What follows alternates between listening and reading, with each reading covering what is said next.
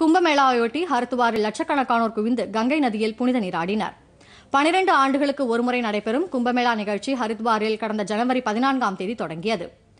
முதல் புனித நீராடும் நிகழ்ச்சி கடந்த மாதம் பதினோராம் தேதி நடைபெற்றது.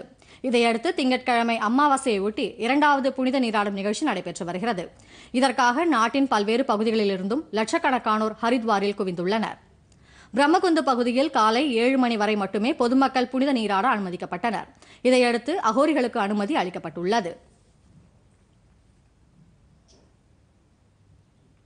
கொரோனா இல்லை என்பதற்கான சான்றிதழ் கட்டாயம் என்பது போன்ற பல்வேறு கட்டுப்பாடுகள் விதிக்கப்பட்டுள்ளன. எனினும் சமூக இடைவெளியை பின்பற்றாமல் ஏராளமானோர் புனித நீராடி வருகின்றனர்.